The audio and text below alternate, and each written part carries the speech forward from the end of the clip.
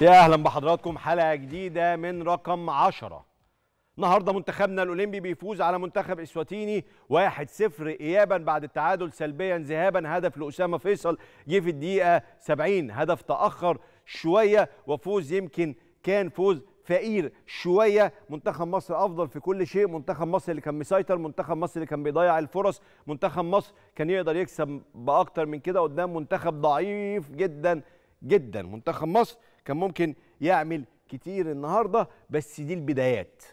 مفهومة. مدير فني جديد حتى المنتخب ده تكوينه جديد فما تتفاجئش قوي أو تستغرب قوي المستوى بتاعنا اللي كان فيه بعض الأخطاء أو بعض إضاعة الفرص السهلة. كل ده مع الوقت مع المباريات مع الممارسة مع إنك تعمل تجميعات كتيرة هتقدر توصل. أنا فاكر منتخب الكابتن شوقي غريب المنتخب الأخير. قبل ما نوصل لكأس الأمم الأفريقية كنا لعبنا عدد كبير من المباريات الودية. قبل ما نوصل كأس الأمم الأفريقية كان في لعيبة كتير بتشارك بشكل أساسي مع فرقها. فعشان كده كسبنا كأس الأمم الأفريقية وصلنا الاولمبيات وصلنا للدور اللي بعد الدور المجموعات حتى الخروج من المنتخب البرازيلي. ده عشان كان في استعداد وتجميعات وكانوا اللاعبين بيشاركوا بشكل أساسي مع منتخبات بلادهم. لكن هذا المنتخب المنتخب الحالي مع روجيرو ميكالي المدير الفني البرازيلي الفائز مع المنتخب البرازيلي ببطولة أو أولمبياد ريو جانيرو في 2016 محتاج وقت. ليه محتاج وقت؟ النهارده بعد المباراة سألت نفسي سؤال. هو كام لاعب من اللي بيشاركوا مع المنتخب الأولمبي ده بيشارك مع فريقه بشكل أساسي؟ لقيت رقم صادم. صادم عشان تعذروا المدرب النهارده. صادم صادم. تعال بص. النهارده اللي شاركوا حمزة علاء مع النادي الأهلي صفر. ما شاركش في ولا مباراة. تعالوا نشوف أهو الأرقام معانا. حمزة علاء لا مشاركات مع النادي الأهلي. أحمد عيد لا مشاركات مع إيه بتكلم عن الموسم الحالي. محمد طارق شارك في مباراة واحدة في الدور التمهيدي في دوري أبطال أفريقيا مع نادي الزمالك. محمد مغربي صفر. محمد أشرف لم يشارك. أحمد نبيل كوكا لم يشارك. العربي بدر مع طلائع الجيش لم يشارك. كل دول بيلعبوا النهارده اساسيين وما شاركوش مع فرقهم. محمود صابر بيراميدز ثلاث مباريات الموسم ده. حلو. مصطفى سعد من الأهلي ولا مباراة. عماد ميهوب في إنبي مباراة واحدة. أسامة فيصل مع البنك الأهلي مباراة واحدة وشارك فيها كبديل. عبد الرحمن عاطف مع غزل المحلة مباراتين. طبعا حسام عبد المجيد أكتر اللاعبين مشاركة هو مع الزمالك خمس مباريات عبد الغني محمد مع الاتحاد بلا مباريات زياد كمال مع إنبي بلا مباريات رافت خليل مع الأهلي بلا مباريات دول اللي شاركوا كبدلاء النهارده. فأنت متخيل طبعا أصل الناس وهي بتتفرج على النهارده على المباراة بدأت الأصوات اللي هو جايبين مدير فني أجنبي ليه يعني؟ ما هو الأداء مش حلو. جايبين مدير فني برازيلي وهنعمل إيه؟ ما فين فين الأداء البرازيلي بقى وفين الشغل العظيم؟ إحنا كده هنخرج من زامبيا في الدور القادم اللي هو المرحلة الأخيرة قبل الوصول لكأس الأمم الأفريقية. المنتخب ده مش كويس.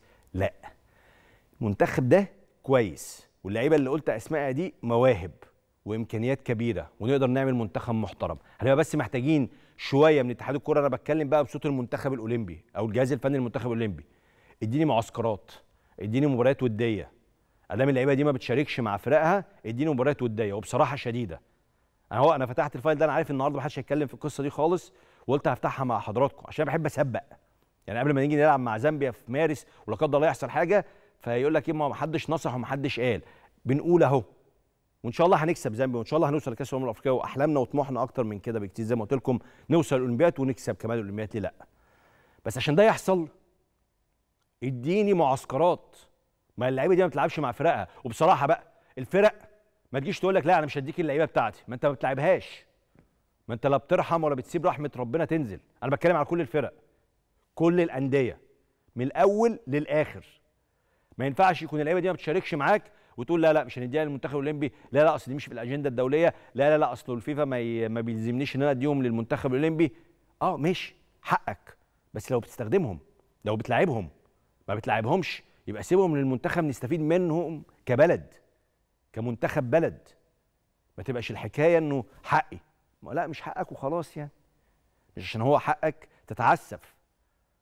فاللعيبة دي محتاجة معسكرات عشان المدرب بقى يبدأ يحفظهم يبدأ يرجعهم بدنيا يبدأ يخليهم يشاركوا مع بعض يبدأ يشوفهم مع النهارده. كان واضح جدا إنه مفيش انسجام في حركة وفي روح وفي جري كتير بس مفيش انسجام مفيش تربيطة كده في الفرقة.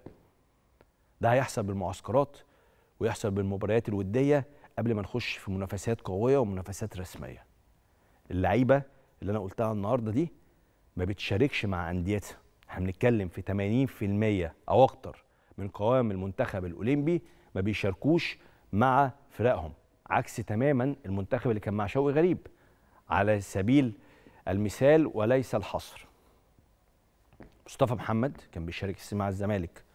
رمضان صبحي كان بيشارك اساسي مع النادي الأهلي. عبد الرحمن مجدي كان بيشارك اساسي مع الإسماعيلي اللي بفتكرهم. صلاح محسن كان وقتها مع الأهلي على ما أتذكر. كان آه كان مع النادي الأهلي. تعالى في خط الدفاع أحمد رمضان بيكهام كان أساسي. هتتكلم على أسامة جلال كان أساسي. أحمد فتوح كان أساسي. أنا بفتكر كريم العراقي كان أساسي. أكرم توفيق كان أساسي. غنام محمد كان أساسي مع الإنتاج. كل اللاعبين اللي كانوا في المنتخب الأولمبي وقت الكابتن شوقي غريب كان كانوا لعيبة أساسيين مع فرقهم. فالمنتخب ظهر بشكل كويس. دلوقتي في جرس إنذار. جرس انذار مش هقول خطورة ما بس جرس. الجرس ده ناخد بالنا منه وهو بيرن كده ونعمل حسابنا. عشان ما نصحاش فجأة نقول إيه ده إيه ده إيه ده؟ المنتخب إزاي ظهر بشكل وحش كده؟ إيه ده المدرب الأجنبي ده طلع مدرب مش مش كويس؟ لا ما هو المدرب الكويس ده عايز لعيبة جاهزة.